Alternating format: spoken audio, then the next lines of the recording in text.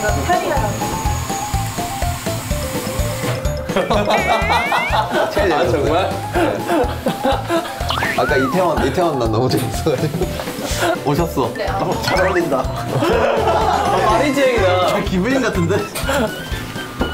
지금 이제 준비 거의 다 됐어요.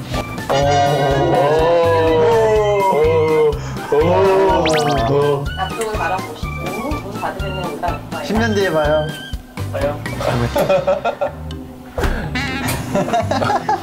저 표정 그대로 얼면 진짜 웃기겠다. 아, 우리 프로 예능이었어. 아 그래? 장난 아니야? 장난 아니야. 고통 있어? 벌칙이 많네 이게.